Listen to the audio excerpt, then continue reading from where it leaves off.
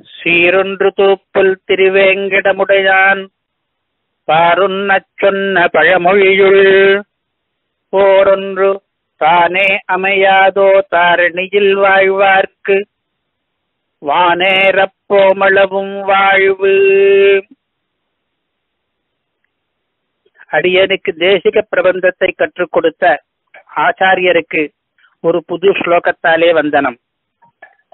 श्रीरङ्गवासी निगमान्तसूरेः श्रीसूक्तिरस्यार्थविशेषवेत् श्रीरङ्गवासीनिगमान्तसूरेः मधुरान्तकीयः श्रीवैभवम् वक्तुमनास्तमीडे मधुरान्तकम् वीरराघवस्य स्वामी श्रीरङ्गक्षेत्रवासीयाहुम् தேசிக ஸ்ரீ சூக்தி ரசித்தார் இன்றைக்கு ஸ்ரீதேவியின் வைபவத்தை பற்றி பேச விரும்புகிற நான் அவரை துதித்துவிட்டு ஆரம்பிக்கிறேன் என்று இந்த ஸ்லோகத்தின் அர்த்தம். இப்பொழுது ஹயக்ரீவ வந்தனம். திசந்து மே தேவ சதாத்வதீயாக தயாதரங்கா நோச்சராக கட்டாட்சாக श्रोत्रेषु पुंसाममृतम् क्षरन्तीम् सरस्वतीम् संश्ரிதகாமதேனும் மும்மணிக்கோவையின் முதல் பாசுரம் பிராட்டியினுடைய வைபவத்தை பறக்க பேசுகிற பாசுரம்.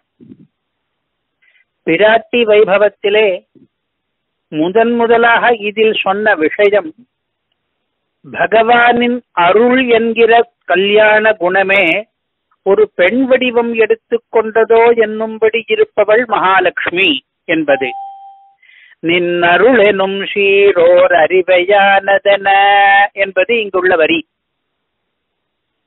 தயாவுக்கும் ஸ்ரீதேவிக்கும் ஏராளமான ஒப்புமைகள் இருப்பதால் இது மிகவும் பொருத்தமான வர்ணனை என்பது பற்றி நாம் இப்பொழுது பேசி வருகிறோம்.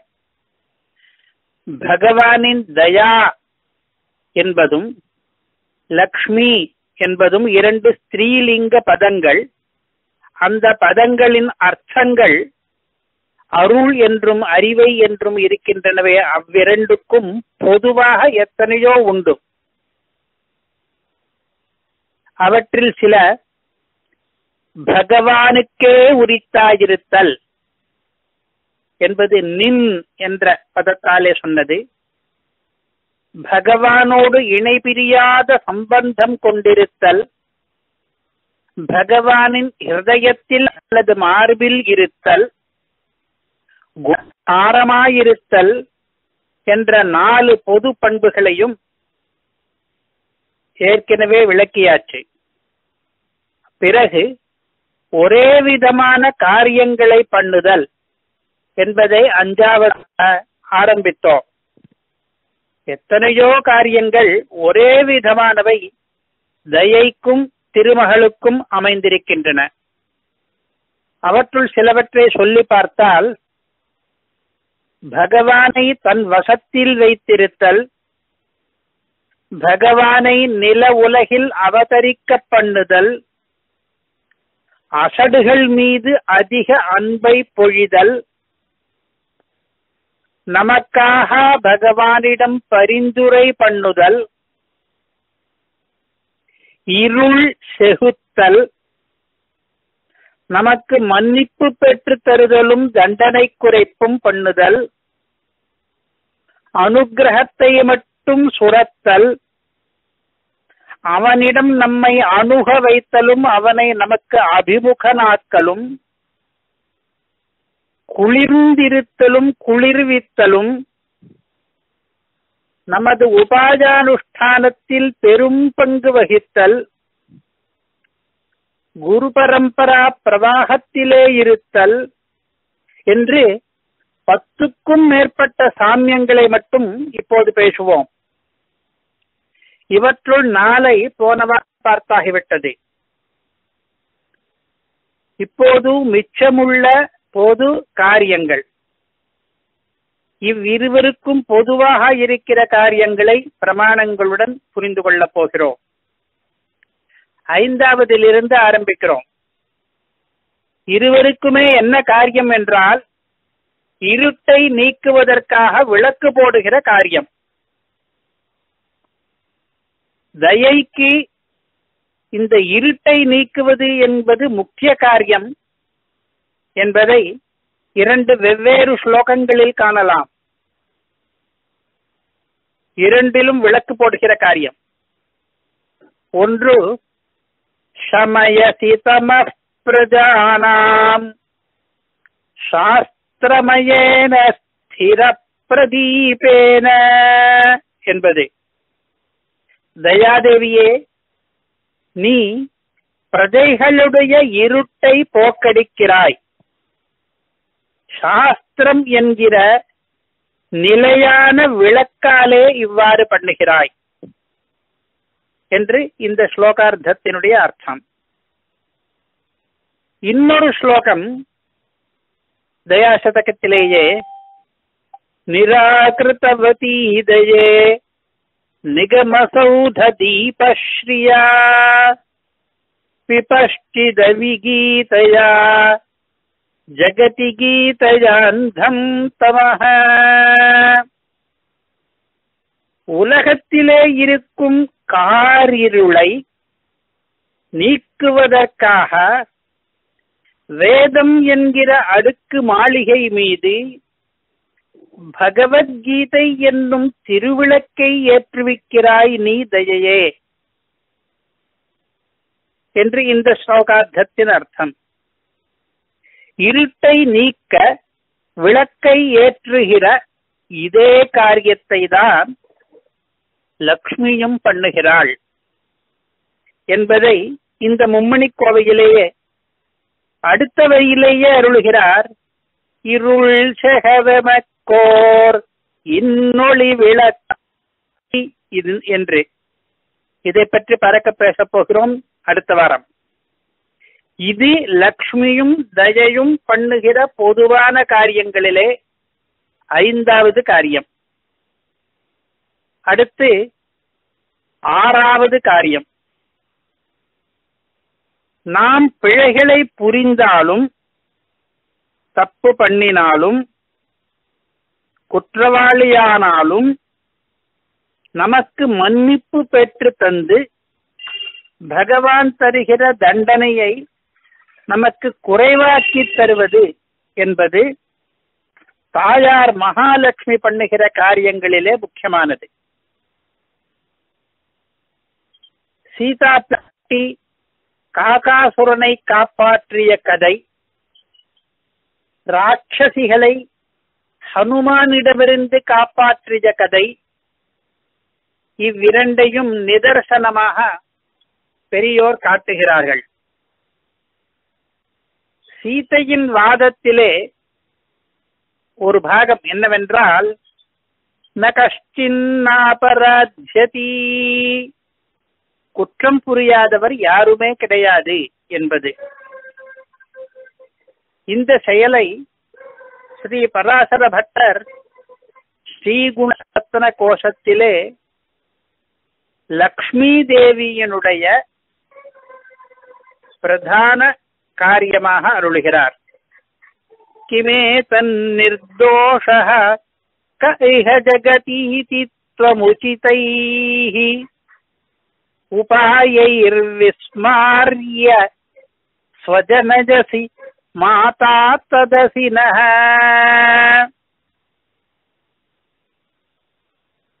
லக்ஷ்மி தேவியே நீ எங்களுக்கு மாதா அம்மாவாக இருக்கிறாய் எங்களுடைய பிதாவை ஸ்வஜனயசி. எங்களுக்கு ஸ்வஜனமாக பண்ணுகிறாய். நாங்கள் தவறுகள் பண்ணும் பொழுது பகவானிடம் சென்று முறையிட்டு இது என்ன? தவறு பண்ணாதவன் நிர்தோஷன் யார் இருக்கிறான் உலகிலே? என்று உச்சிதமான உபாயங்களாலே பரிந்துரைகளாலே விஸ்மாரிய. எங்கள் தட்டுகளை அவன் மறக்கும்படியாக பண்ணி அவனை எங்களுக்கு ஸ்வஜனமாக நீ ஆக்குகிறாய். அதனால்தான் நீ எங்கள் மாதா என்பது பொருத்தமாக இருக்கிறது என்று விளக்குகிறார். இதையே சுவாமி தேசிகனும் விளக்குகிறார். ஸ்ரீமத் ரகசிய திரைசாரத்திலே துவஜாதிகாரத்திலே. சாபராத ஆனவர்கள் பக்கல் ஸ்வயம் ஹிதைஷியாய் தண்டதரனா சர்வேஸ்வரனுடைய சீற்றத்தை ஆற்றி அவனுடைய சட்ட காருண்யம் இவர்களுக்கு உஜ்ஜீவகமாகும்படி பண்ணி கொடுக்கையால் என்று சூக்தி. இதனுடைய அர்த்தம் சாபராதர் என்றால் குற்றவாளி. குற்றம் புரிகிறவர்களிடமும் ஹிதைஷியாய் ஹிதத்தை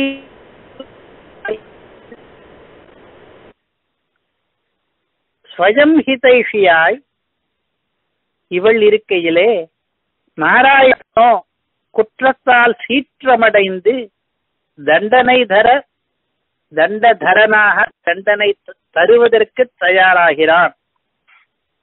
இவள் அவனுடைய கோபத்தை தணிக்கிறாள். அவனுடைய சகஜ காருண்யத்தை வெளிக்கொணர வைத்து சகஜ காருண்யம் இவர்களுக்கு உஜ்ஜீவகமாகும்படி உய்விக்கும்படி வழி பண்ணுகிறாள் என்று இந்த பங்கியினுடைய அர்த்தம். ஸ்வயம் ஹிதைஷியாய் தண்டதான சர்வேஸ்வரனுடைய சீற்றத்தை ஆற்றி அவனுடைய சகஜ காருண்யம் இவர்களுக்கு உஜ்ஜீவகமாகும்படி பண்ணி கொடுக்கையால் என்று. இவ்வாறாக பிழை புரிந்தவர்களுக்கும் ஹிதத்தையே பண்ணுவிப்பது என்பது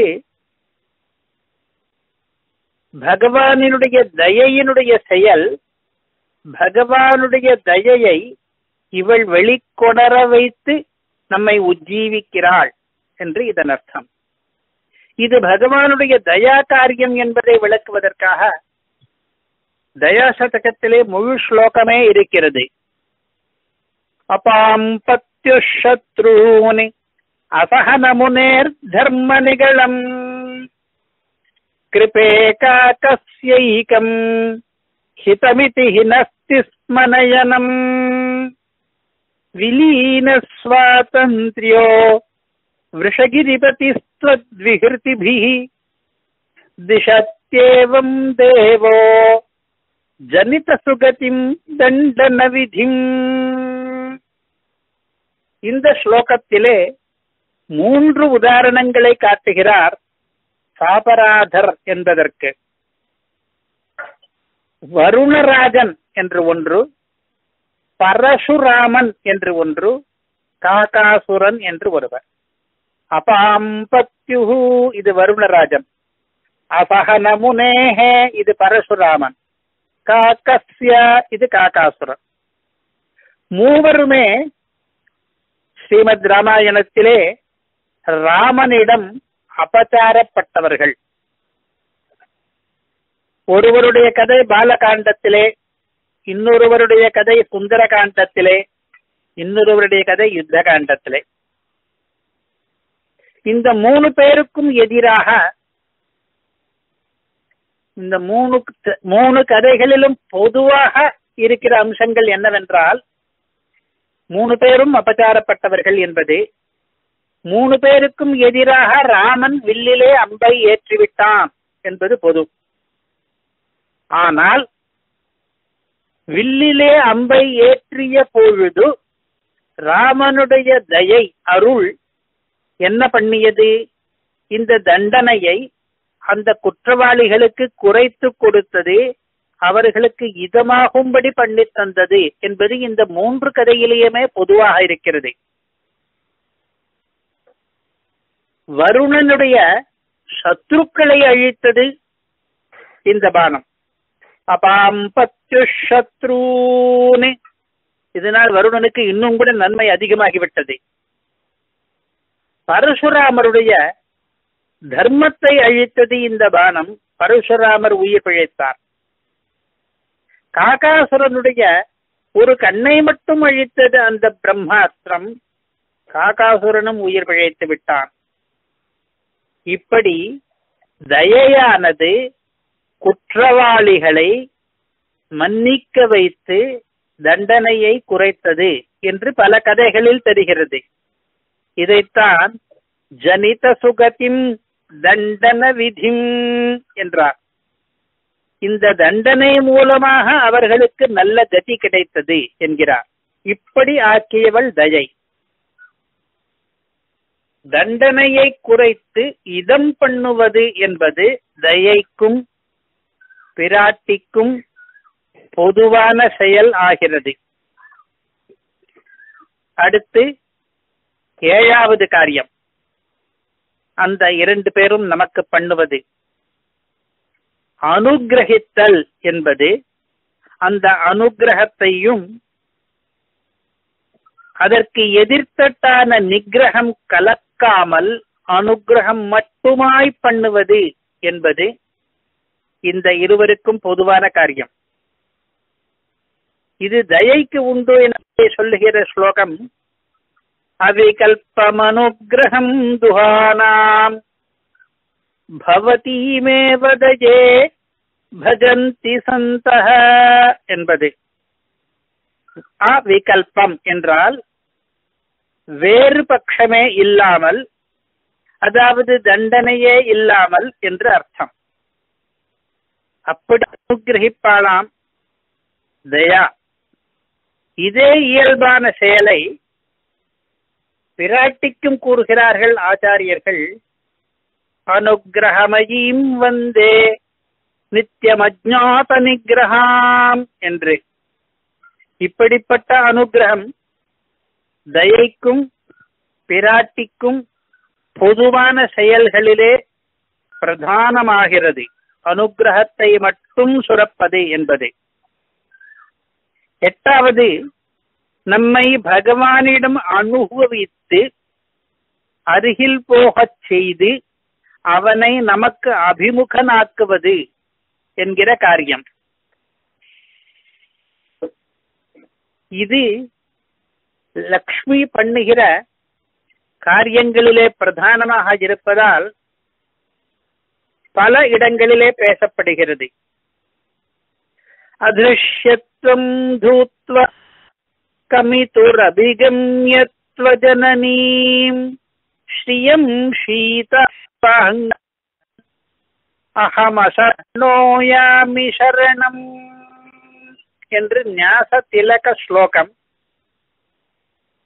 லக்ஷ்மி இருக்கிறாளே ஸ்ரீ அவள் ஷீத அபாங்கா குளிர்ந்த கடைக்கண் பார்வை கொண்டவள். கமிதா இருக்கிறானே லக்ஷ்மி காந்தன் அவனுக்கு அதிருஷ்யத்துவம் உண்டு. அணுக முடியாத ஊஷ்மலத்துவம் கூட உண்டு. அதை தூத்வா உதர செய்து அவனுக்கு அதிகம்யத்துவம் அணுகக்கூடிய தன்மையை உண்டு பண்ணுகிறாளாம் லக்ஷ்மி. அப்படிப்பட்ட லக்ஷ்மியை வேறு புகழில்லா நான் சரணமடைகிறேன். என்று இந்த ஸ்லோகத்துக்கு அர்த்தம். சதுஸ்லோகி பாஷ்யத்திலும் ஸ்ரீயம் தத் சத்ரீகீம் ததுபசதனத்ராசமனீம் அபிஷ்டௌதி ஸ்துத்யாம் அவிததமதிர் யாமுனமுனிஹி என்று ஆரம்ப ஸ்லோகம் தேசிகருடையது லக்ஷ்மி தேவி இருக்கிறாளே. பகவானுக்கு சகதர்மச்சாரி அவள் நாம் பகவானை நெருங்குவதில் இருக்கிற அச்சத்தை பயத்தை நமக்கு நீக்குகிறாள். அவளை ஸ்தோத்திரம் பண்ணுகிறார் யாமுன முனி. இந்த சத்துஸ்லோகியிலே இப்பொழுது ஞாச திலக்கத்திலே ஒரு ஸ்லோகம் பார்த்தோம். சதுஸ்லோகி பாஷ்யத்திலே ஒரு ஸ்லோகம் பார்த்தோம் இரண்டும் தேசிகனுடைய ஸ்லோகங்கள் இரண்டும் லக்ஷ்மி விஷயமான ஸ்லோகங்கள் இரண்டிலும் லக்ஷ்மியினுடைய ஒரே காரியம் பேசப்படுகிறது அபிகம்யத்வஜனனி என்றும் ததுபசதனத்ராசமனி என்றும் இரண்டு விசேஷமான விசேஷணங்களாலே விசேஷம் என்னவென்றால் இந்த விசேஷணங்கள் இதே பதங்களாலே மற்ற இடங்களிலே காணவில்லை பரியாஜ பதங்களாலே உண்டு. ஸ்பஷ்டமாக பிராட்டியின் செயலாக தெரிவிக்கப்பட்ட செயல் இது. அபிகம்யத்துவம் ஏற்படுத்துவது. உபசதன திராசத்தை சமிப்பது. அவனிடத்தில் அபிகம்யத்துவத்தை உண்டாக்குகிறாளாம் நம்மிடத்தில் அணுகுவதில் உள்ள அச்சத்தை நீக்குகிறாளாம். அவனையும் நம்மையும் அணுக வைப்பதற்கு அவனையும் நம்மையும் தகுதிப்படுத்துகிறாளாம். அவனுக்குள்ள வெறுப்பை நீக்குகிறாள் நமக்குள்ள பஜத்தை நீக்குகிறாள். அவனின் தயை பண்ணுகிற காரியமும் இதுவே. அருள் செய்து அடியேனை பொருளாக்கி உன் பொன்னடி கீழ் புகவைப்பாய் என்று திருவாய்மொழி. நம்மை பகவானின் அருகில் சேர்ப்பதற்கு அவனுடைய அருள் காரணமாக இருக்கிறது. இப்படி எட்டாவது காரிய சாதிருஷ்யம். அடுத்ததாக ஒன்பதாவது செயலிலும் ஒப்புமை. அருளுக்கும் அல்லிமலர் பாவைக்கும். இது என்னவென்ன தான் குளிர்ந்திருத்தலும் பகவானை குளிர்வித்தலும் என்பது.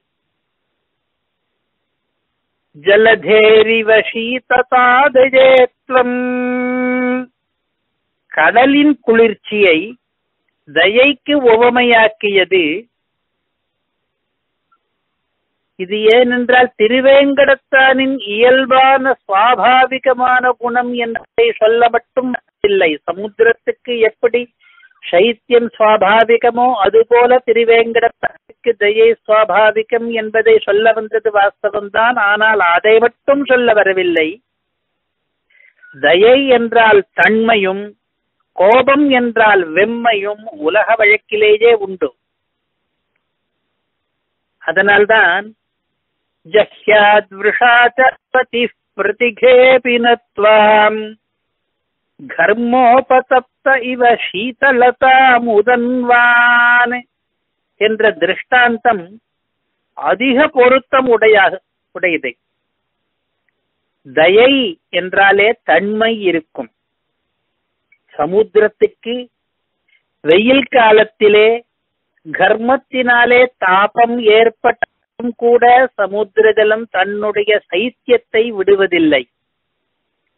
அதுபோல இந்த திருவேங்கடமுடையான் நம்மளுடைய குற்றங்களாலே அபராதங்களாலே பிரதிகம் கோபம் அடைந்தாலும் கூட தயையை விடுவதே கிடையாது என்று தயையின் சைத்தியத்தையும் திருஷ்டாந்த சாத்தியங்களாக ஆக்குகிறார். சீதா நித்தியம் பிரசததி என்று தயையின் தீர்க்கிகைக்கு நீர்நிலைக்கு தன்மை சொன்னது சீதா என்று. அதனால்தான் இது இவ்வாறு இருக்க தாயார் லக்ஷ்மியும் கூட தானும் குளிர்ந்து பகவானையும் குளிர்விப்பவள் என்கின்றன பூர்வ சுக்திகள். அவளுக்கு சந்திரா என்று ஒரு பெயர். சந்திரா என்ற பெயருக்கு இது காரணம். இந்திராம் இந்து சீதலாம் என்கிறது அவளுடைய அஷ்டோத்தரம். சந்திரன் போல குளிர்ந்தவள். ஆகையாலே இந்து சீதலா என்று அவளுக்கு நூற்றெட்டு பெயர்களிலே ஒன்றாகிவிட்டது. அவள் பெருமாளுக்கு வெப்பத்தை குறைத்து தன்மையை ஏற்படுத்துவதால் தான் நாமெல்லாம் பெருமாளுக்கு அருகிலே போக முடிகிறது. அவள் பெருமாளை மட்டுமன்று நம்மையும் குளிர்விக்கிறாள். அதற்காக கட்டாட்சங்களை நம் மீது பாய்ச்சுகிறாள். ஆர்திரஜேதா கட்டாட்சை என்று ஒரு ஸ்ரீஸ்துதி ஸ்லோகம் முடிகிறது. அந்த ஸ்லோகத்திலே தயை சாணுப்ராச பிரகட்டித தயைஹி.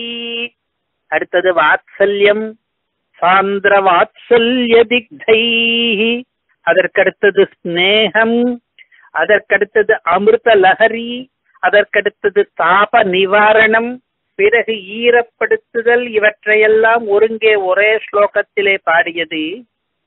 பிராட்டியானவள் நம் தாபத்தை தீர்த்து நம்மை குளிர்விக்க வேண்டும் ஆர்திரயேதாக என்பதற்காக. இவ்வாறாக குளிர்தலும் குளிர்வித்தலும் இருவருக்கும் பொதுவான செயலாயிற்று. இதனாலும் தயையே லக்ஷ்மியாக வடிவம் கொண்டிருக்கிறது என்பது சரியாயிற்று. பத்தாவதாக ஒன்று. பிரபத்தி சரணாகதி என்கிற உபாய அனுஷ்டானம் பண்ணும்போது இந்த ரெண்டு பேருக்கும் அதாவது பகவானின் அருளுக்கும் லக்ஷ்மிக்கும் பெரிய பங்கு இருக்கிறது. பிரபத்தி பிரயோகத்தின் ஆரம்பத்திலேயே ஸ்ரீ பிரபத்தி பண்ண வேண்டும். லக்ஷ்மியை புகழடைந்து அவளுடைய புருஷகாரத்தாலே அதாவது பரிந்துரையாலே சிபாரிசினாலே அதற்கு பிறகு சரணாகதியை பண்ணிக் கொள்கிறோம் நாம். அதில் தயைக்கு என்ன பங்கு என்றால் பிரபத்தி என்பதே காருண்யமாத்திர அவலம்பனம்தான் கிருத்தின கமலாவாச காருண்யை காந்தினோ பஜே என்ற ஸ்லோகத்திலே ஆழ்வார்களை பிரபன்ன ஜன சந்தானத்து வழிகாட்டிகளாக நினைப்பதால் தான் காருண்ய ஏகாந்திகள் என்கிறார். லீலா பிரவா காருண்ய பிரவாகேன நிருத்தியதே என்று சுவாமியினுடைய காரிகை. சம்சாரம் என்ற லீலா பிரவாகத்தை தடுப்பதற்காக காருண்யம் என்ற எதிர் பிரவாகத்தை யாசிப்பதுதான் பிரபத்தி என்கிற உபாயானுஷ்டானம். நின் அருளே புரிந்திருந்தேன் இனியன் திருக்குறிப்பே என்றும் உனதருளே பார்ப்ப நடியேனே என்றும் உன் திருவருளாலன்றி காப்பரிது என்றும் கிருபயா கேவலமாத்மசாத் குரு என்றும் கூறுகிறபடியே அருளை மட்டுமே தஞ்சமாக அனுசந்தித்து காருண்யைகாந்திக போந்தார்கள் என்று சாரசூக்தி. இதுதான் பிரபத்தி என்பது. ஆரம்பத்திலே லக்ஷ்மியை புகழடைந்து புருஷகாரமாக்கி பிறகு அருளை தஞ்சமாக அனுசந்தித்து காருண்ய ஏகாந்திகளாவது. இவ்வாறாக பிரபத்தி பிரயோகத்திலும் பெரிய பங்கு தயைக்கும் லக்ஷ்மிக்கும். இப்படி பத்து செயல்கள் அருளுக்கும் திருவுக்கும் பொதுவாக அமைந்துவிட்டன. அதனாலே இன்னொன்றும் பொதுவாக அமைகிறது. அது என்னவென்றால் பிரவாகம் வரும் பொழுது ஸ்ரீனிவாசனுடைய தயா பிரவாகம் குரு பரம்பரா பிரவாக ரூபத்தில் வரும் பொழுது அந்த குரு பரம்பரா பிரவாகத்திலே பிரதானமாக வருவது என்பது இருவருக்கும் பொது.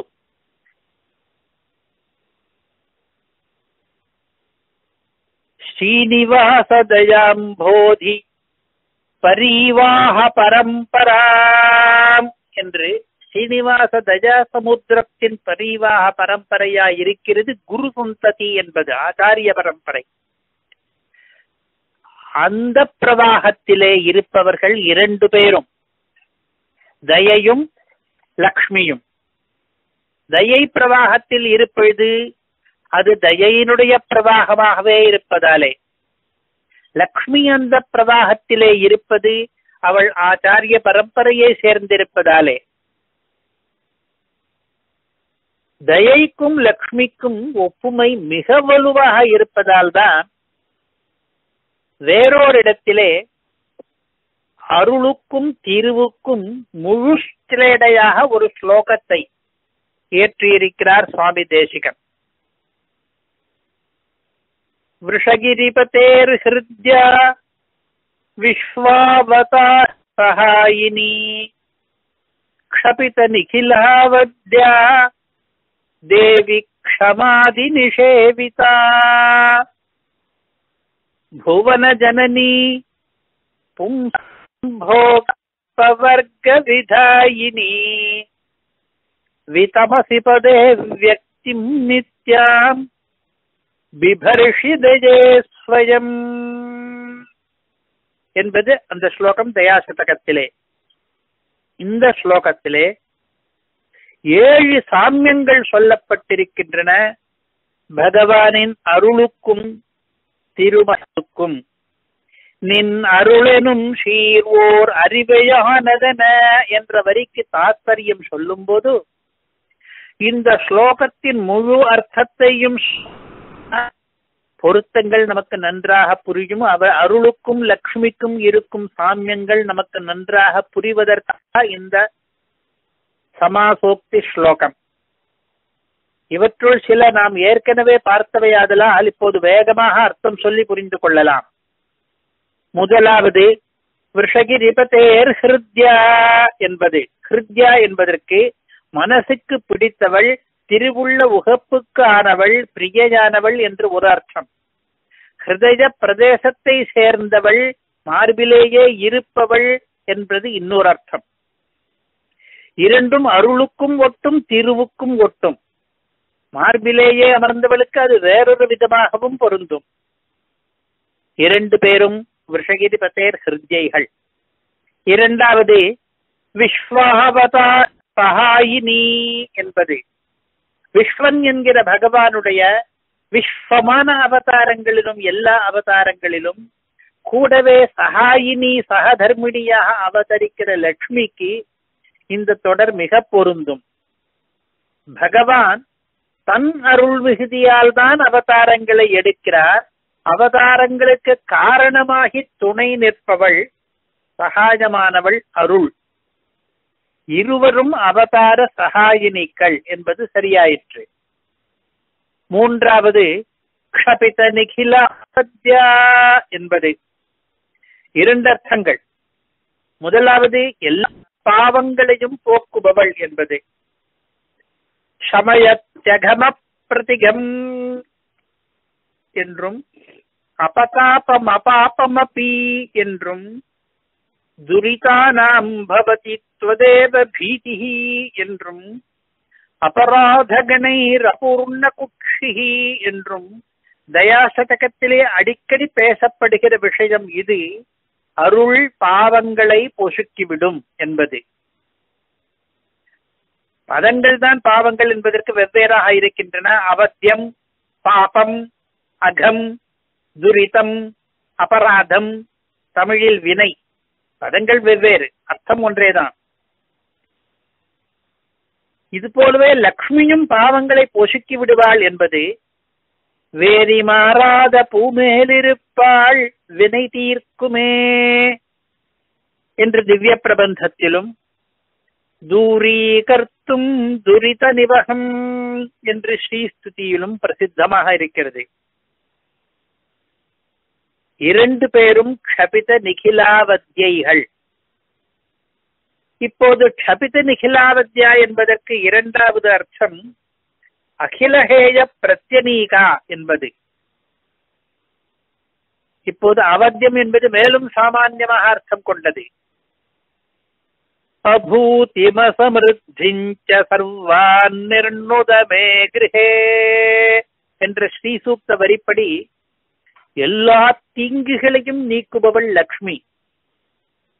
தனக்கும் எந்த இழிவும் இல்லாதவள் லக்ஷ்மி. அதனால் லக்ஷ்மியும் தயையும் க்ஷபித நிகிலாவத்யா என்று சொல்லத்தக்கவர்கள்.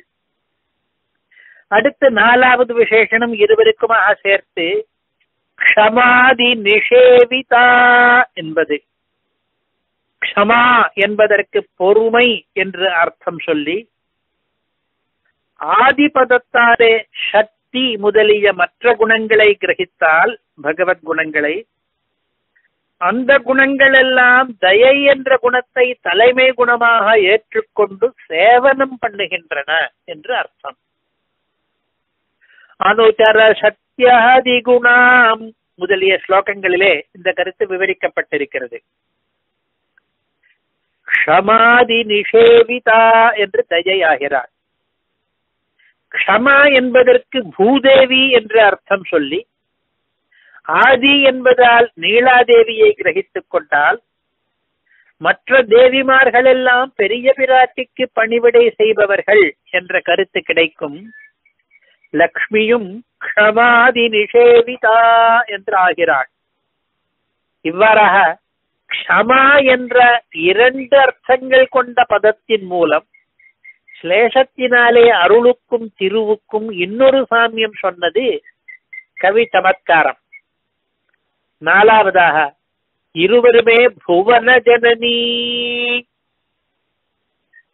பகவான் லோக சிருஷ்டி பண்ணினாரே உலகத்தை படைத்தது அது அருளாலே என்ன அருள் ஏற்பட்டது அச்சேதனம் போலவும் அதிசூக்ம அவஸ்தையிலும் கிடந்த ஜீவர்கள் உய்ய வேண்டும் என்ற அருளின் உந்துதலினாலே அவர் உலகை படைத்தால் அப்படி படைத்ததாலே அருள்தான் புவன ஜனனி ஜெகத் சிருஷ்டி ஹேது ஆகிறாள்.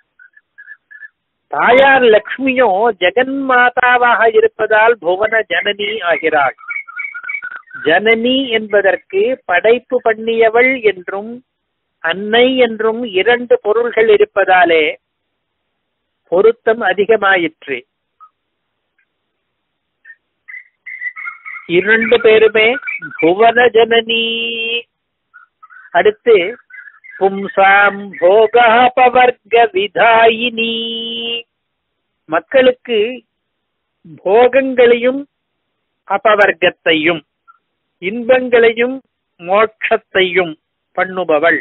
என்பது அருளுக்கும் திருவுக்கும் பொதுவான செயல் ஆயிற்று. கடைசியாக இந்த ஸ்லோகத்திலே ஒன்று விதமஸ் என்கிற இடத்திலே நித்திய வியக்தி கொண்டவர்கள் இருவரும் என்பது.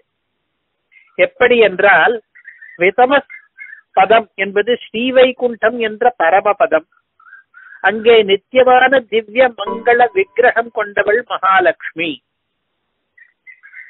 இன்னொன்று விதமஸ் என்பவர் தமோ குணம் நீங்கிய நல்லவர்கள். அந்த நல்லோரிடத்திலே எப்போதும் வெளிப்படுபவள் புலனாகுபவள் பகவானுடைய தயை. பகவான் நல்லவர்களுக்கு அருள் பண்ணுகிறார். அருள் பெற்றதால் தமஸ் நீங்க பெற்று தமஸ் நீங்கியதால் அருள் பெற்றவர்கள் அவர்கள். இவ்வாறு ஏழு அடைமொழிகளும் விஷகிரி ஹிருத்யா என்று ஆரம்பித்து விதமசுபத வியக்தி என்கிற கடைசி ஏழாவது வரைக்கும் ஏழு அடைமொழிகளும் இருவருக்கும் அருளுக்கும் அறிவைக்கும் ஒத்து வருவதாலே அருளே திரு என்கிறார் இந்த பூர்ணஸ்லேஷ ஸ்லோகத்திலே. இந்த மும்மணிக்கோவை வரியை நின்னருளெனும் சீர்வோர் அறிவை என்கிற வரியை அதிக புஷ்டி கொண்டதாக ஆக்குகிறது. இந்த ஸ்லோகத்து கருத்து. விஷகிரி தேர் ஹிருத்யா என்கிற ஸ்லோகம் இந்த வரிக்கு வியாக்கியானம் போலே இருக்கிறது. எப்படி அருளினும் சீரே லக்ஷ்மி என்கிற அறிவையானது என்று சொல்லலாம் என்று கேட்டால் அதற்கான காரணங்களை எல்லாம் ஒன்றன் பின் ஒன்றாக அடுக்கி சொல்வது போல இருக்கிறது இந்த தயாசதக ஸ்லோகம். தன்னுடைய மும்மணிக்கோவை வரிக்கு தானே வியாக்கியான ஸ்லோகமிட்டாற் போலே இருக்கிறது. பல விதங்களிலே பார்த்தால் அருளும் திருவும் ஒன்றேதான். பகவானின் கருணையும் ஸ்ரீ மகாலட்சுமியும் வெவ்வேறல்லர் என்று சித்திக்கிறது. ஆனால் ஒரு விதமாக பார்த்தால் வெவ்வேறுதான். அருள் என்பது குணம். லக்ஷ்மி என்பது குணிவர்க்கம். லக்ஷ்மி என்பவள் சைதன்யம் கொண்டவள். இரண்டுக்கும் பேதம் இல்லை என்ன முடியாது. இதை பற்றி நாம் சீக்கிரமே பார்க்க போகிறோம். இப்போது இந்த மும்மணிக்கோவை பாசுரத்தின் அடுத்த பதத்துக்கு போகிறோம். என என்கிற பதம். ஓர் அறிவையானது என. இதன் அர்த்தத்தை விளக்கப் போகிறோம். அதற்கு முன் இதுவரை பார்த்ததை சுருக்கமாக ஒரு தடவை பார்ப்பது நல்லது. நின் அருள் பண்ணுகிற பத்து பன்னிரண்டு காரியங்களும் லக்ஷ்மி பண்ணுபவையாகவே இருக்கின்றன. நின் அருளே இந்த பிராட்டி ஆயிற்றோ என்று உத்ரேட்சை உண்டாகிறது. அருளுக்கும் பிராட்டிக்கும் ஒரே குணகாரம் இருப்பதாலும் அருளும் பிராட்டியும் ஒரே இடத்தில் பகவானிடம் வீற்றிருப்பதாலும் அருளும் பிராட்டியும் பகவானோடு ஒரே மாதிரி நீங்காத சம்பந்தம் கொண்டிருப்பதாலும் தயாசதகம் என்ற ஸ்தோத்திரத்திலே அருளை ஓர் அறிவையாக திருவேங்கடமுடையானின் மகிழ்ச்சியாக ரூப ரூபணம் பண்ணி உருவகம் பண்ணி நூறு ஸ்லோகங்களால் ஸ்தோத்திரம் பண்ணுவதற்கு தான் பின்னால் இயற்றப்போ மும்மணி கோவையில் இருக்கிற நின் அருளெனும் ஷீர் ஒரு அறிவதென என்கிற வரியிலே அடிக்கல் நாட்டியாகிவிட்டது இப்போது. இப்போது என என்ற பதத்தின் தாத்பரியத்தை பார்ப்போம். என என்றால் போல என்று முதல் அர்த்தம். அருள் போல லக்ஷ்மி அருளே அறிவையானது போல இருக்கிறாள். வஸ்துதக அருள் வேறு திருமகள் வேறுதான். ஒன்று குணம் இன்னொருத்தி குணமுள்ளவள். ஒன்று அனாத்மா இன்னொருத்தி ஆத்மா. ஆனாலும் ஏராளமான சாமியங்களை நாம் பார்த்திருப்பதாலே அருளே திருமகளாக ஆயிற்றோ என்ற உத்ரேட்சை உபபன்னமாகிறது பொருந்துகிறது. என என்றால் போல என்று அர்த்தமா? அர்த்தம் என்கிறோம். கருணாமிவ ரூபிணீம் தயாம் இவ கிருத்தோ தயாம் என்ற வச்சனங்களில் இவ என்ற பதம் இருக்கிறது அதன் ஸ்தானத்திலே இங்கே என என்ற பதம். தமிழிலே அணி நூல்களிலே என என்பதற்கு போல என்ற அர்த்தத்தை சிறப்பித்து கூறுகிறார்கள். என்ன என்ற பதத்தின் இடைக்குறையாக வந்த சொல் என என்பது. நடு எழுத்து போகிவிட்டது அன்னை என்பதை அணை என்று சொல்லலாம். இல்லை என்பதை இலை என்று சொல்லலாம். நம்மை என்பதை நமை என்று சொல்லலாம். என்னை என்பதை எனை என்று சொல்லலாம். அதே போல என்ன என்பதை என என்று சொல்லலாம். இதை இடைக்குறை என்பர். இது ஒரு குறை கிடையாது. இந்த என்ன என்பதற்கு வினாவாக உள்ள அர்த்தம் ஒன்று இருக்கிறது. கிமிதம் என்று. அது தவிர உவமை உருவாகவும் ஓர் அர்த்தம் உண்டு. போல என்று. இதை கூறுகிற செய்யுள் ஒன்று தமிழிலே தண்டி அலங்காரம் என்பதிலே இருக்கிறது. அந்த செய்யுள் உவமை சொற்களின் பட்டியலை தருகிறது. போல என்பதற்கு சமான அர்த்தம் கொண்ட பல பதங்களை தருகிறது. இந்த செய்யுளிலே என்ன என்பதும் இந்த பட்டியலிலே இருக்கிறது என்பதை கவனியுங்கள். செய்யுள் இப்பொழுது போலமான புறைய பொருள்.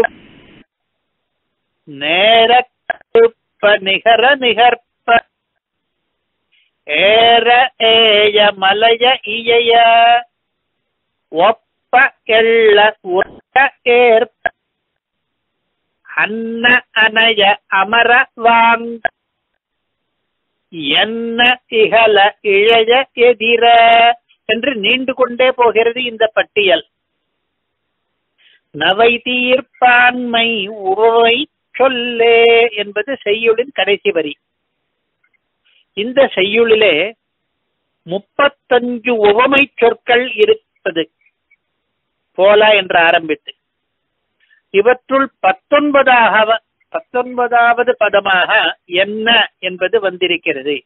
உரையிலிருந்தும் இது தெரிகிறது. இந்த முப்பத்தைந்து தமிழ் பதங்களும் போல என்ற அர்த்தத்திலே வருபவை. இதில் எத்தனையோ பதங்கள் இன்றைய தமிழில் கையாளப்படாமல் இருப்பதாலே இதை நாம் தேவையற்ற விஷயம் என்று உபேட்சித்துவிட முடியாது. ஏனென்றால் ஆழ்வார் பாசுரங்களிலும் அவ்வளவு தூரம் எதற்கு? இதே மும்மணி கோவையிலே பின்புள்ள வரிகளிலும் பாசுரங்களிலும் இந்த பட்டியலிலிருந்து வேறு உவமை சொற்களையும் நாம் சந்திக்க போகிறோம். அடுத்த வரியிலேயே கூட இந்த வரியிலே என அறிவையானதென இருள் சகவமக்கோர் இன்னொளி விளக்காய் மணிவரையன்ன நின் திருவுருவில் அன்ன என்ற வார்த்தை இந்த பட்டியலில் இருக்கிறது. அன்ன என்றால் போல என்ற அர்த்தம். ஆகையால் அவற்றை புரிந்து கொண்டாக வேண்டும். அதற்காக இந்த தண்டை அலங்கார செய்யுளை இப்பொழுது வாசித்தோம். என என்பதற்கு இன்னொரு அர்த்தமும் உண்டு. என்று சொல்ல என்று ஒரு அர்த்தம். என்னும்படியாக அருளே பிராட்டி என்று பலர் சொல்லும்படியாக என்று தாத்பரியம்.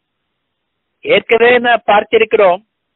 லக்ஷ்மி தந்திரம் யாதவாபியுதயம் தயாசதகம் லக்ஷ்மி சகசிரம் முதலிய பல கிரந்தங்களிலே பெருமாளின் அருளே பிராட்டியாக வடிவம் கொண்டது என்று. அவற்றையெல்லாம் நினைவு கூறுவதற்காக அந்த பிரமாண வசனங்களை எல்லாம் அந்த ஆச்சாரிய சூக்திகளை எல்லாம் இப்பொழுது நினைக்க வேண்டும் என்பதற்காக இங்கே என என்று பதம். இதற்கடுத்த வரி இருள் சகவமக்கோர் இன்னொளி விளக்காய் என்பது. இருள் செக என்பதன் அர்த்தத்தை இன்றைக்கு ஆரம்பிக்கிறோம். எமக்கோர் இன்னொளி விளக்காய் என்பதன் அர்த்தத்தை அடுத்த வாரம் நிதானமாக அனுபவிப்போம். இன்றைய பதம் இருள் செக. நிறைய அர்த்தங்கள் இந்த பதத்துக்கு கிடையாது. ஒரே அர்த்தம்தான் இருள் என்றால் இருட்டு செக என்றால் அழியும்படியாக. இருட்டு நீங்கும்படியாக விளக்கானவள் லக்ஷ்மி என்கிறார் இந்த வரியில். இருள் சக என்பதற்கு பத பொருள் ஒன்றே ஆனாலும் உள் கருத்துகள் அதிலே ஐந்தாறு இருக்கின்றன. முதலாவது கருத்து லக்ஷ்மியினாலே இருட்டு அழிகிறது என்றால் அது எந்த இருட்டு? லக்ஷ்மி எந்த இருளை செகுக்கிறாள்? என்று யோசித்து பார்த்தால் இருள் என்பது சம்சார மண்டலம். அது எமக்கு செகுவதாவது எமக்கு சம்சாரம் இல்லாமல் போய் மோட்சம் கிடைப்பது. நம்மை பிரகிருதி சம்பந்தத்திலிருந்து விடுவித்து முக்தி அளிப்பவள் பெரிய பிராட்டி என்பது முதல் தாத்பரியம். இதை கொஞ்சம் அலசுவோம். முதலில் இருள் என்ற பதத்தால் சம்சாரத்தை அல்லது பிரகிருதி சம்பந்தத்தை சொல்லலாமா என்று ஒரு விசாரம். இரண்டாவது லக்ஷ்மி அந்த இருளை பிரகிருதி சம்பந்தம் என்கிற இருளை செகுக்கிறாளா என்பது விசாரம். முதல் விசாரம் இப்பொழுது இருள் என்றால் பிரகிருதியா? நிறைய சூக்திகளிலே அப்படி பிரயோகம் உண்டு. நமக்கெல்லாம் தெரிந்த பிரயோகங்களே கூட நிறைய இருக்கின்றன. ஸ்ரீ சூக்தியிலே ஸ்ரீ ஸ்துதியிலே சம்பத்யந்தே பவபஜதமீ என்கிறார். அதில் பவம் என்றால் சம்சாரம் தமி என்றால் இரவு. சம்சாரத்தை இருட்டு வேளையாக உருவகித்திருக்கிறார். அதிலே பவபஜதமீ என்கிற பதத்திலே. அதிகார சங்கிரகத்திலே இன்று நமக்கிரவாதலின் இம்மதியின் நிலவே என்று ஒரு வரி. இன்று நமக்கு இரவு சம்சார பொழுதை இருட்டு பொழுதாக வர்ணிக்கிறார். பரமபத சோபானத்திலே நள்ளிருளாழியில் நற்சுவைய இந்த நாடியதோர் என்று ஒரு வரி. நள்ளிருள் என்று சம்சாரத்தை நிர்தேசிக்கிறார் அதிலே. இருள் தருமா ஞாலத்துள் இனி பிறவி ஆண் வேண்டேன் என்று ஆழ்வார். இதிலே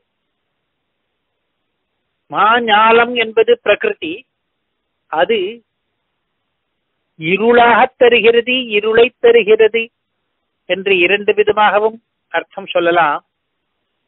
இருள் என்பதற்கு சம்சாரம் என்றோ அறியாமை என்றோ அர்த்தமாகும் வான்பட்ட மண்ணிருளில் மயங்குமாறும் என்று பரமபத சோபான பாசுரம். இங்கேயும் இருள் என்பதற்கு சம்சாரம் என்றோ அறியாமை என்றோ அர்த்தம் கொள்ளலாம். பகவத் ஸ்வரூப திரோதானகரீம். தெய்வீம் குணமயீம் மாயாம் என்று பெரிய கத்தியத்திலே பகவத் ராமானுஜர் மாயா என்கிற பிரகிருதி மண்டலத்துக்கு இருள் என்கிற பெயர் வரத்துக்கு காரணத்தை சொல்கிறது. இதிலே பகவத் ஸ்வரூபம் மறைந்து விடுகிறது. நமக்கு தெரிவதில்லை. அதனாலே இதை இருட்டு என்கலாம் ரகசியத்திரை சாரத்திலும் காலராத்திரி என்று சம்சார போதையும் இருட்டு போதாக விடிவு காலம் என்று நெறியான போதை விடிகாலை பொழுதாகவும் கூறியது உண்டு. ஸ்வாபோஹத்போத என்ற வார்த்தை அங்கே இருக்கிறது. ஒன்று தூக்க வேலை இன்னொன்று விழிப்பு வேலை அந்த வார்த்தையும் இதை ஊர்ஜிதப்படுத்துகிறது.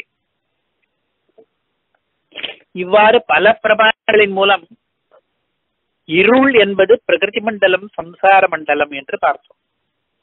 இந்த இருளை லக்ஷ்மி செகுக்கிறாள். அவள் நமக்கு சம்சார பந்தத்தை நீக்குகிறாள் என்று தாத்பரியம். இதிலே விசாரம் சர்ச்சை உண்டு. பகவான் மட்டுமே அவ்வாறு பண்ண வல்லவர் என்றும் விராட்டி அவரிடம் பரிந்துரைக்க மட்டுமே வல்லவள் என்றும் சில பேருடைய அபிப்பிராயம் உண்டு. ஆனால் பிராட்டியே மோட்சம் தர வல்லவள் என்று நிறைய பிரமாணங்கள் இருப்பதை பிரமாணங்கள் உத்கோஷிப்பதை எடுத்துக்காட்டி பிராட்டியும் கூட மோட்சப்பிரதையே என்று நிஷ்கர்ஷிக்கிறார் சுவாமி தேசிகன். ஓர் என்ற பதத்துக்கு அர்த்தம் சொல்லும் போது அருளெனும் சீர் ஓர் அறிவையானதென என்ற இடத்திலே பிராட்டி மோட்சம் தர வல்லவள் அதனால் ஒப்பற்றவள் என்பதை சாஸ்வத சம்ஹிதையிலிருந்தும் காந்தா சதுஸ்லோகியிலிருந்தும் ஸ்ரீகுண ரத்ன கோஷத்திலிருந்தும் பிராம புராணத்திலிருந்தும் வசனங்களை காட்டினோம். ஏற்கனவே விவரித்தோம் லக்ஷ்மியே மோட்சப்பிரதை என்பதை. எனவே இருள் செக என்பதன் முதல் தாத்பரியம் சம்சாரம் அற்று போகும்படி அவள் மோட்சம் தரக்கூடியவள் என்பதை தெரிவிக்கிறது. அடுத்து இருள் செக என்பதற்கு இரண்டாவது தாத்பரியம் என்னவென்றால் அறியாமையும் கலக்கமும் நீங்குவதற்காக என்று. அறியாமையை இருள். என்று எத்தனையோ வசனங்கள் தெரிவிக்கின்றன.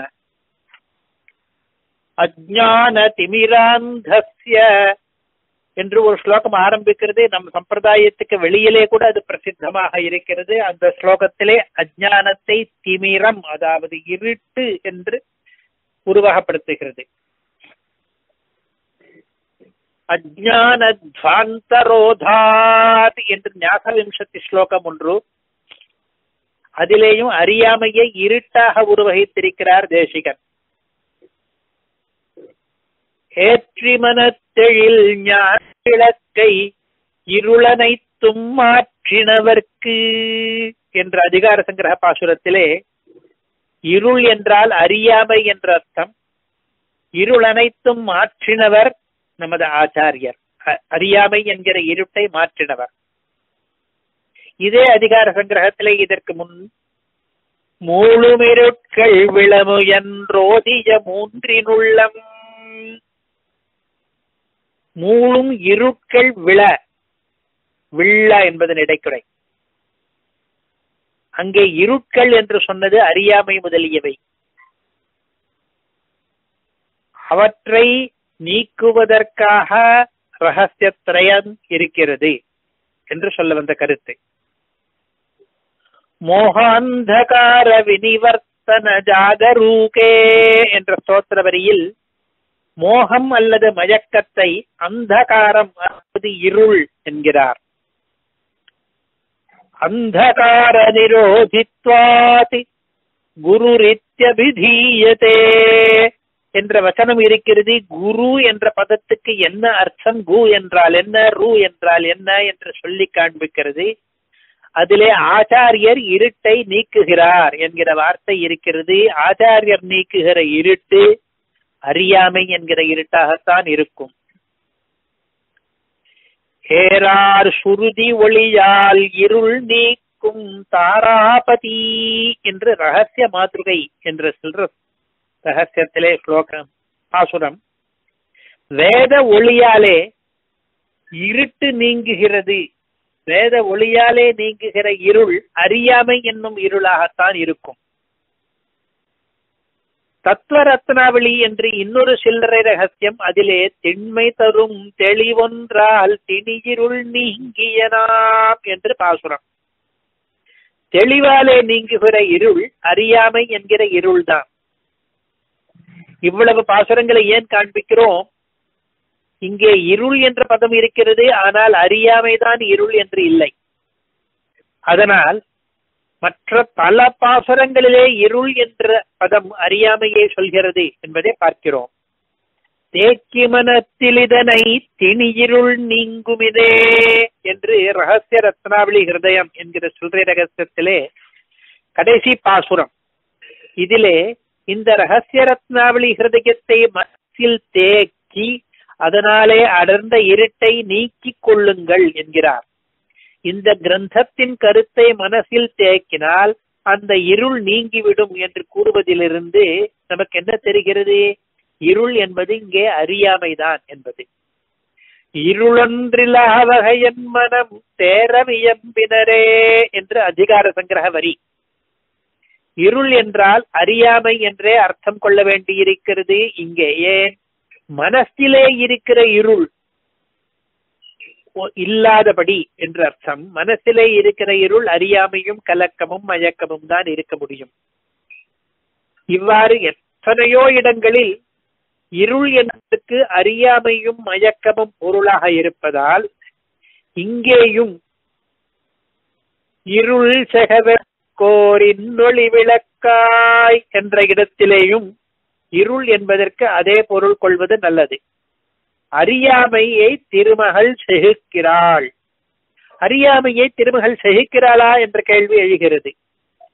அஷ்டலட்சுமிகளில் ஒருத்தியான வித்யாலட்சுமி அறியாமையை அழிப்பவள் என்று ஒரு பதில். ஆனால் மேல்காட்டிய பாசுரங்கள் பலவற்றிலும் அறியாமையை போக்குபவர் ஆச்சாரியர் என்று இருப்பதை கவனித்தால் இங்கே வித்யாலக்ஷ்மி என்கிற பிரபேதத்தை சொல்லவில்லை. லக்ஷ்மி நமது ஆச்சாரிய பரம்பரையில் நிற்கிறதுனாலே அறியாமையை சகிக்கிறாள் என்று பதில் சொல்வது இன்னும் நல்ல பதிலாக இருக்கிறது. லக்ஷ்மி நம்முடைய குரு பரம்பரையில் வருகிறாள். அதை எங் அவள் எங்கே வருகிறாள் குரு பரம்பரையில் என்று நினைத்து பார்ப்பதற்காக இப்போது நமக்கு வாய்ப்பு கிடைத்திருக்கிறது. இருள் செக அவள் விளக்கானது. இதோ நாலைந்து பாசுரங்கள். நாதமுனி சடகோபன் சேனைநாதன் இன்னமுத திருமகளன்று இவரை முன்னிட்டு என்ற பாசுரத்தின்படி நாதமுனிக்கு ஆச்சாரியர் யோக தசையிலே சடகோபன் என்கிற நம்மாழ்வார் அவருக்கு ஆச்சாரியன் சேனைநாதன் என்கிற விஸ்வக்சேனர் அவருக்கு ஆச்சாரியாயிருப்பவள் திருமகள். நமது குரு பரம்பரை பெருமாளிடம் தொடங்கி வரும்போது லக்ஷ்மிநாத சமாரம்பாம் என்று வரும்பொழுது இரண்டாவது ஸ்தானத்தில் இருப்பவள் லக்ஷ்மி பெருமாளுக்கு சிஷ்யை லக்ஷ்மி லக்ஷ்மிக்கு சிஷ்யர் விஸ்வக்சேனர் விஸ்வக்சேனருக்கு சிஷ்யர் நம்மாழ்வார் நம்மாழ்வாருக்கு சிஷ்யர் நாதமுனி என்ற கிரமத்திலே. ஆகையால் இருள் சகிக்கிறாள் லக்ஷ்மி என்றது மிகவும் சரி. சேனேஷ லக்ஷ்மி லக்ஷ்மீஷான் அமி ஏஷாம் பிரசாதத என்ற சங்கிரகத்தனியிலும் சேனேஷருக்கும் லக்ஷ்மீஷருக்கும் நடுவிலே லக்ஷ்மி என்று இருப்பதை காண்கிறோம். வேறொரு இடத்திலே நமக்கு இந்த குரு பரம்பரா கிரம அனுசந்தானத்துக்கு எத்தனையோ ஸ்லோகங்கள் இருக்கின்றன. சங்கிரக ஸ்லோகங்கள் விஸ்தார குரு பரம்பரா தனியன் ஸ்லோகங்கள் ஸ்ரீபாஷ்யத்துக்கு ரகசிய திரைசாரத்துக்கு என்று வெவ்வேறு இடத்தில் இருப்பதாலே வேறே இடத்திலே சேனேஷம் ஸ்ரீயமிந்திரா சகதரம் நாராயணம் சம்ஸ்ரயே என்று இருக்கிறது. இன்னுமொரு ஸ்லோகத்திலே வந்தே நாதம் முனீந்திரம் வகுலதர சமூநாத லக்ஷ்மி முகுந்தான் என்ற வரியிலே நாதமுனிக்கு பிறகு வகுலதரர் அதாவது நம்மாழ்வார் அதற்கடுத்து சமூநாதர் அதாவது சேனேஸ்வரர் அவருக்கடுத்து லக்ஷ்மி அவளுக்கடுத்து முகுந்தன் என்கிற இதே வரிசை கிரமம் இருக்கிறது. நாத முனீந்திர பகுலதர தபூநாத லக்ஷ்மி முகுந்த என்று. இந்த குரு பரம்பரையானது பிரதிதினமும் நமக்கு அனுசந்தேஜமாக இருப்பதால் ஒவ்வொரு நாளும் நம்முடைய ஆச்சாரிய பரம்பரையை நாம் மந்திர ஜபம் பண்ணுவதற்கு முன்னோடு நாம் அனுசந்தித்து வருவதாலே இத்தனை விதமாக இதை பார்த்தோம். பிரதமாச்சாரியனா பகவானுக்கு அடுத்தபடியாக லக்ஷ்மி நமக்கு த்விதீய ஆச்சாரியை. அதை இருள் செக என்ற வரியினுடைய இரண்டாவது தாத்பரியமாக நாம் தெரிந்து கொள்ள வேண்டும். இருள் செக என்பதற்கு முதல் தாத்பரியம் லக்ஷ்மி மோட்சத்தை கொடுக்கிறவள் என்று. இருள் சக என்பதற்கு இரண்டாவது தாத்பரியம் லக்ஷ்மி ஆச்சாரிய பரம்பரையில் இருந்து அறியாமை என்ற இருளை நீக்குபவள் என்று இதே இருள் சக என்பதன் வேறு சில உட்கருத்துகளையும் எமக்கோர் இன்னொளி விளக்காய் என்பதன் கருத்துகளையும் அடுத்த வாரம் பார்ப்போம். லக்ஷ்மியினுடைய வைபவத்தை அடுத்த வாரம் தொடர்ந்து விஸ்தாரமாக அனுபவிப்போம். சீரார்த்து புல் திருவேங்கடமுடையான் திருவடிகளே சரணம்.